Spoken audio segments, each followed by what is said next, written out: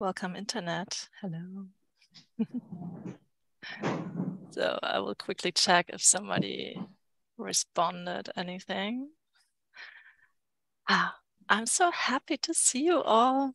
And I'm super excited. Like, are you also super excited? uh, we've been working so much to come to this day um, to bring us all together. And uh, that's so nice. So I give us a tiny minute to arrive and uh, join the call for everybody who's viewing at the moment uh, in the internet on YouTube. Um, we are um, having a Zoom room for the participants and the team of the uh, critical making mentoring. So that's why we're waiting a tiny minute um, for everybody to join.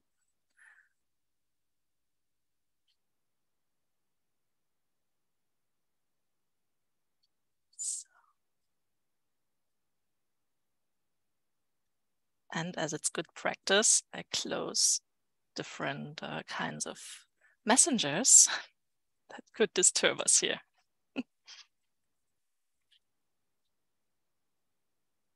so I see quite a few participants now. That's wonderful.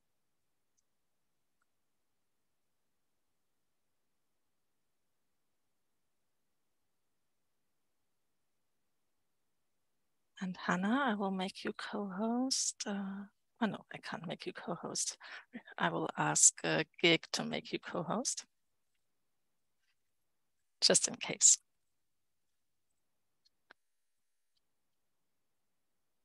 Yeah, so now I think it's uh, almost five past, three past on my clock, which is, you're all here, which is amazing. Um, I will just kick off, I would say, uh, so we don't waste any time. And whoever came late uh, can also join um, the first part of the event through um, the live stream and the recording later. So welcome everybody. Um, it's a big group today um, because we're kicking off the critical making mentoring program and uh, I'm super excited for that to happen. Um, it's a long way um, for uh, us in the organizing team and also in participants um, to join today and um, in the call today and in the um, stream in the event, you will see um, what critical making is and what um, who we are and who the participants of the mentoring are. And most importantly, in the end uh, or in the the prime time of the event, Saad Chinoy will um, speak about make things that make sense uh, with uh, most examples from his work in Salvage Garden Makerspace uh, and his prior work also in Engineering Good and generally in his uh, coffee geekiness. Uh, I think it will be an entertaining uh, presentation. so I will to share my screen so I can um, guide you through um, our um, our topics for today.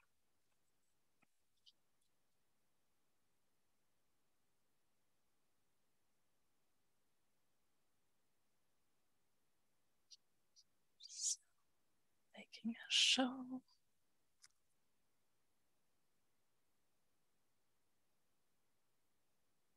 There it is. You now should see my screen. And I can't see so many of you anymore. This is unfortunate, but we will make this work. So I'm saying welcome and I want to introduce um, some of the participants in the call to you um, today so that we're all on the same page of um, who's uh, doing the project. And um, first of all, um, uh, that is um, the partners in the program of critical making, which is an EU uh, funded project to research um, maker communities and it's brought by uh, Center for Social Innovation in Austria, by the Technical University in Berlin, uh, which is in Germany, uh, the VTT um, from Finland, Wikifactory, a global platform, but based in Spain, and Global Innovation Gathering, uh, also a global network uh, registered in Germany, and most importantly, um, all you great uh, co-researchers who are part of the program.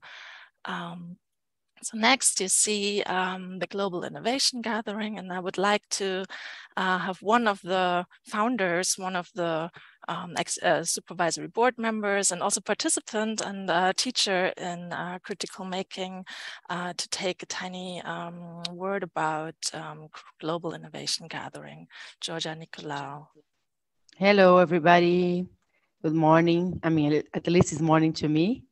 Um, I'm speaking from Brazil. I'm really happy to be here and see you all. Um, so um, and also really happy to introduce Gig, which is a great part of my life for the last uh, nine years or 10, I don't know. Um, um, so Gig um, is a community uh, uh, of uh, hubs and creative people that are making things that make sense. We like to say that we are what we create together we have now reached, I think, um, around uh, 46 countries. So we are, we are uh, in all continents. Uh, we are more than 140 associates by now. Uh, and we, before pan pandemic, we used to meet at least once a year. Uh, but also there's like smaller gatherings uh, in the continents and um, cooperating. So there's a lot of projects that we cooperate with each other uh, within the hubs and and the organizations that are part of and people, but also uh, projects that we are part of. Uh, for some years now, we have been also an NGO, and that's why we also are part of other corporations uh, and develop projects such as critical making, this one, but also make. Um, which is uh, a project that uh, with African and European makerspaces. Also, we have the Lab Mobile, is uh, an itinerant space for learning and hacking, and, and the COACT project. Uh, so yeah, uh, welcome to Gig too, and happy to be here. Sandra, over to you.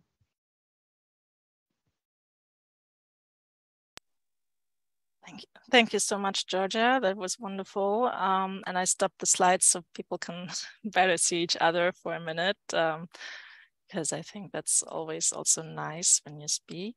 Um, and I will share again. And uh, while I'm doing this, I will ask uh, Christina to uh, introduce Wikifactory, which is uh, the second partner who's bringing the critical making mentoring um, to uh, you all. Oh, it's such a pleasure to be here. Thanks, Sandra. So Wikifactory is a platform and an ecosystem for designers and engineers and now also manufacturers worldwide that together can come to host their product development, their projects online and be able to work together as a team and now also be able to get their parts made with uh, our global network of manufacturers. Our vision is for a more distributed design and production vision for our sector so that anyone can share, iterate, prototype, and manufacture their hardware and physical products fully online to bring greater accessibility to what we may hear as Industry 4.0 for the bigger companies, but how can we bring greater access to the tools of design and production so that makers everywhere can be able to produce locally uh, in an ideal uh, and ideally even more um, uh, circularly or even uh, from a regenerative point of view. And we've built a global community uh, using our platform of over 140,000 designers and engineers around the world. Um, and they're developing over 9,000 projects from like a broad range of, uh, let's say, problem spaces, whether in agriculture, biotech, um, electric vehicles, through to even smart furniture. Um, and really, we hope to reshape the global supply chain, and ensure that anyone, anywhere, can virtually make anything online uh, and work together as a global team for local impact.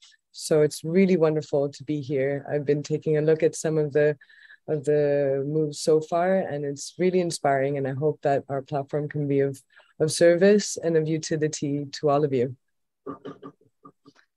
Wonderful. Thank you so much, Christina. And if anybody didn't try out Wikifactory yet, uh, I think today is the day.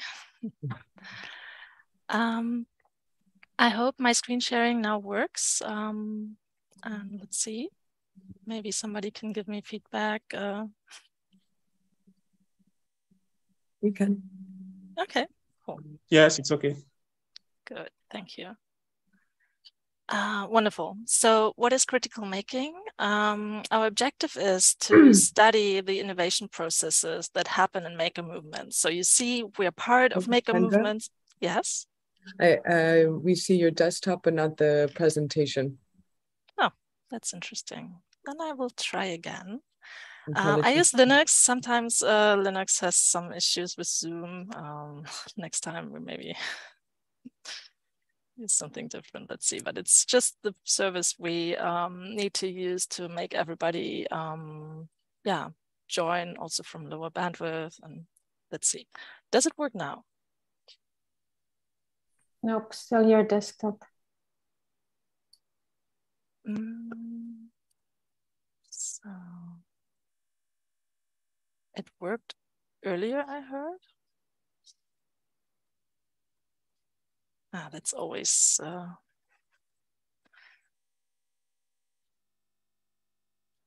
so. Let's say, say yes, please. Yes, not in slide mode yet, but not in yeah, presentation mode, but it's fine. I hope that's uh, the trick. So now it would be in slide mode, right? Yes, yes. Oh, thank you so much. And that's the first session must always have something. And I think that was now the thing and everything else will run super smoothly.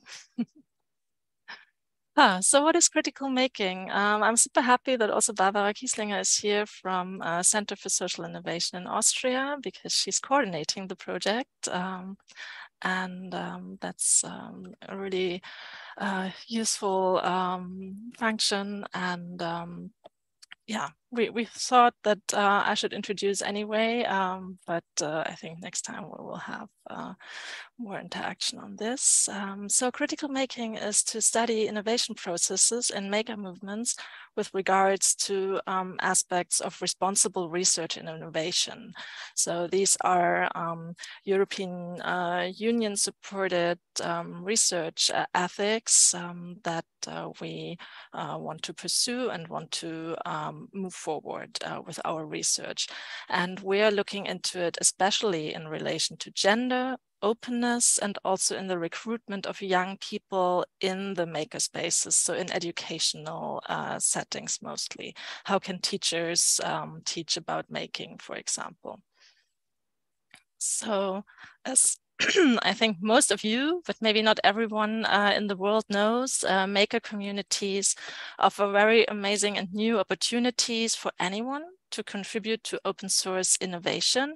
That means um, that if you have access um, to a Fab Lab and to the internet or to a makerspace um, and to people with um, the knowledge how to create something, um, you can gain this knowledge and you can create uh, any of your ideas um, that you have and you can share it back with the world and other people can build upon your ideas and uh, this is just uh, so beautiful.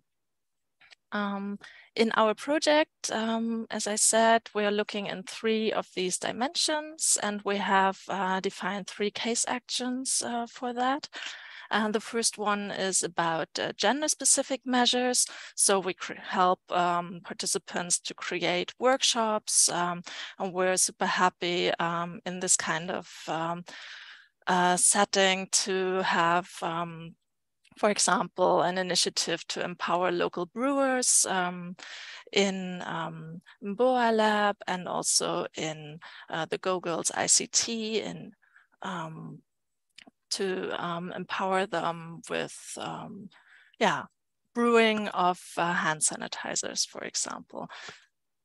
And um, then in the next case action, I'm very making this super short um, because of uh, our other topics um, that we still want to discuss. Um, so um, the second topic is youth uh, encounters. Uh, here you see um, how we're creating flashlights during a conference as a prototype for uh, teaching kids and uh, caregivers and uh, teachers about critical making.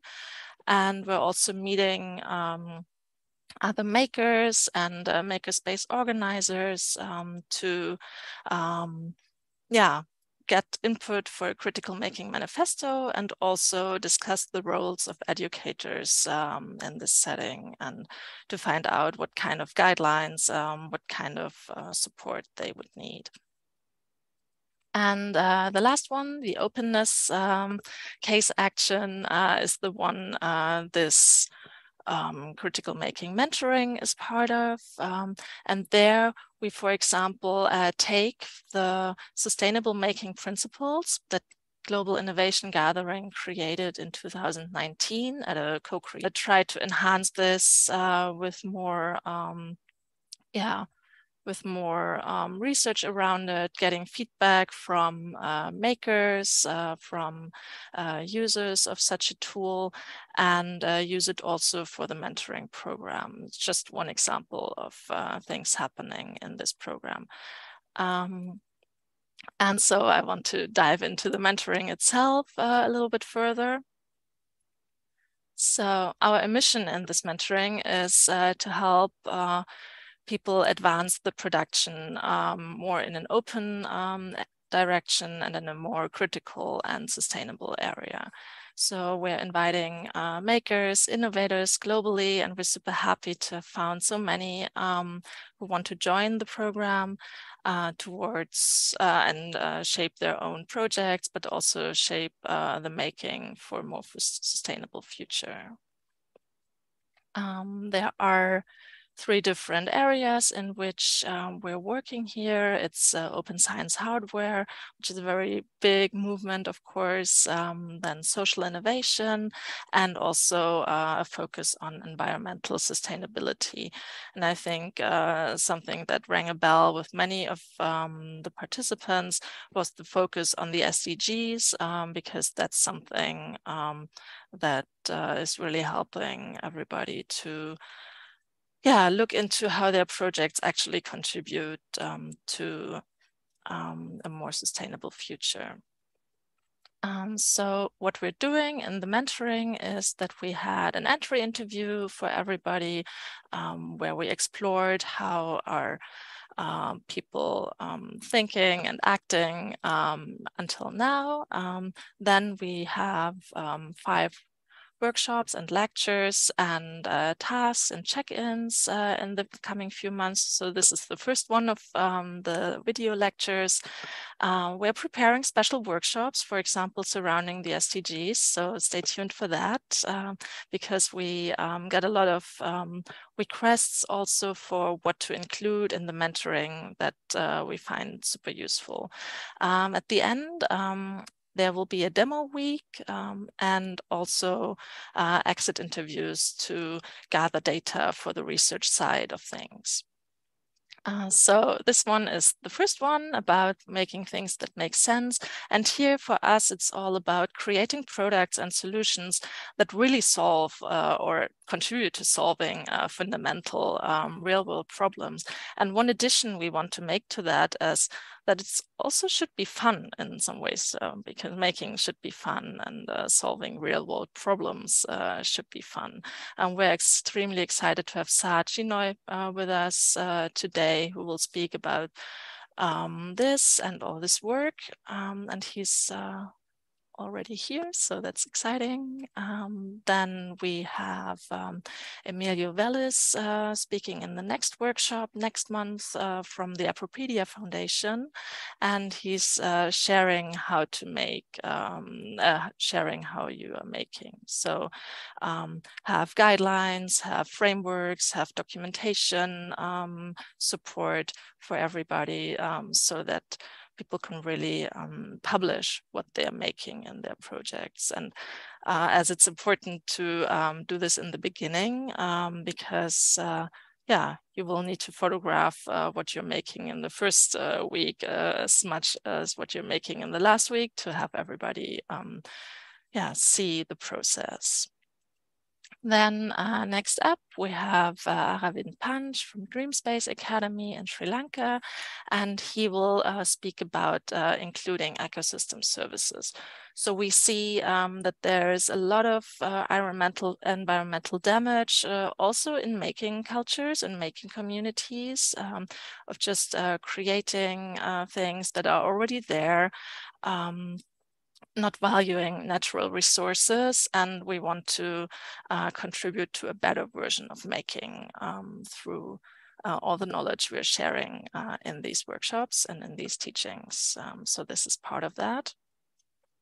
Then um, I'm extremely happy uh, Georgia Nicolau will uh, share about integrating local knowledge. You just saw Georgia as one of the co-founders also of the Global Innovation Gathering, but she's also co-founder um, of the Instituto Procomum in Brazil and their um, like local practices, um, co-design, all these measures to integrate uh, communities in the work you're doing uh, at the core of um, what they're doing. And that's uh, so inspiring. Uh, and last but not least, uh, we have Bahar Kumar, um, who's one of the founders of the Impact Hub in Kathmandu and the CEO there. And she will speak about building for continuity. So um, in her work, uh, she, yeah, mentored and taught uh, so many, um, yeah, small and evolving uh, startups and companies and people to create really a long-lasting future um, for their project. And this not only means self-sufficiency in terms of financial um, financial uh, aims, but also integrate um, like capacity, have a team, have a community. So that's uh, also um, super important and will be uh, our last uh, scheduled teaching. And um, what I want to really focus on uh, today is uh, who are the participants, uh, because um, that's so um, interesting. And we asked everybody, um, because we can't just share um, the um, the infos uh, the participants uh, send us as applications to join the program. Uh, so we asked everybody to share a story on uh, Wikifactory in our community um, to uh, teach everyone else um, a little bit about the story um, they are uh, bringing to the mentoring. And so I want to start with Matthew, Matthew Lubari. Um, he will uh, create or he will um, work on an uh, extension cable um, made out of wood and not out of plastic, uh, which is really to also inspire um, his uh, community to, uh, yeah, value the power of um, open hardware and of uh, openness and do it yourself. Then um, I'm also happy um, that Xixi is uh, part of the um, the mentoring. So Xixi is um, a project to allow people um, to, uh, yeah, urinate in the street, oh, not in the streets, but uh, in very, um, yeah, unsafe settings uh, where there's no private bathrooms, um, especially for women and other people um, without a penis. Um, so that's quite um, important um, to have safe safe environment um, to be able to relieve yourself. And then we have uh, Husam. Um, he um, aims to uh, create a, um, a farm uh, house. so uh, that uh, in this indoor farm, strawberries or maybe also other produce uh, can be created. Um, and Dawa is uh, creating a solar mobile phone charger. And uh, that's especially because um, there is uh, not uh, sufficient energy, like uh, not sufficient um, electricity where she's living in the Rhino Camp refugee settlement in Uganda. And with these um, yeah, affordable uh, mobile phone chargers that people can really create in the camp themselves. Um, uh, she will uh, support her community um, to, yeah, power their phones, which is uh, critical infrastructure, of course. Then I'm happy that Juliana Rabello is also part of the program. Uh, she's creating educational games out of wood um, in Brazil in the Casa Criatura makerspace.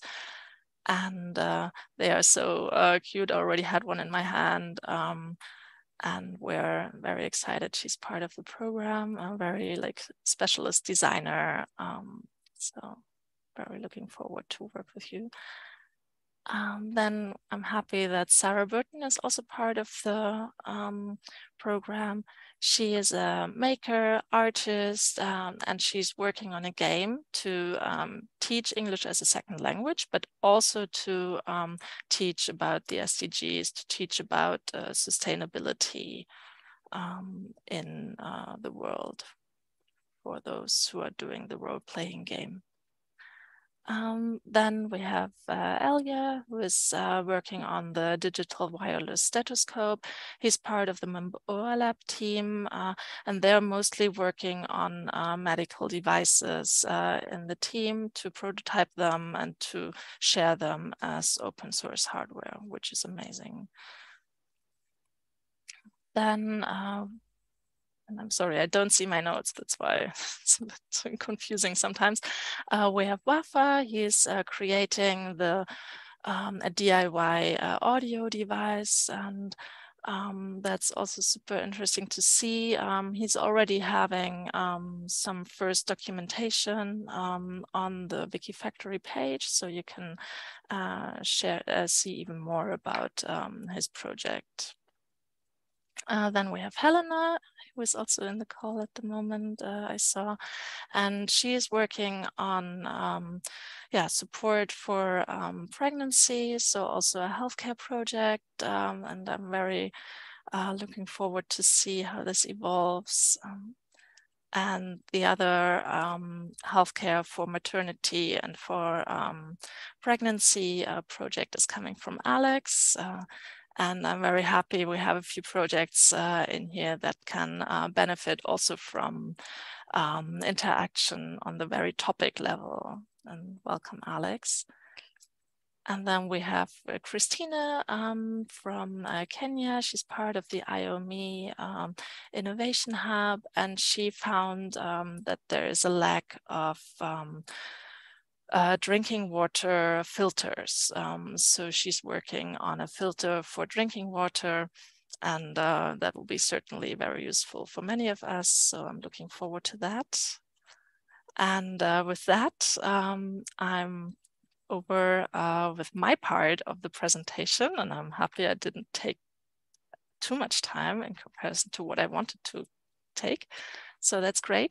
So if you want to stay updated with the project, um, it would be great um, if you follow Critical Making on Twitter. Um, if you're not on Twitter, of course, um, you could, for example, sign up for the Global Innovation Gathering newsletter. We also um, send specific uh, info to everyone who signs up for the events. Um, so we have you in a specific critical making list. Uh, that would be amazing um, to have you there so we can keep you updated about the future um, workshops, about the future uh, lectures, and uh, that you don't miss uh, any of them. And with this, I'm stopping to share my screen because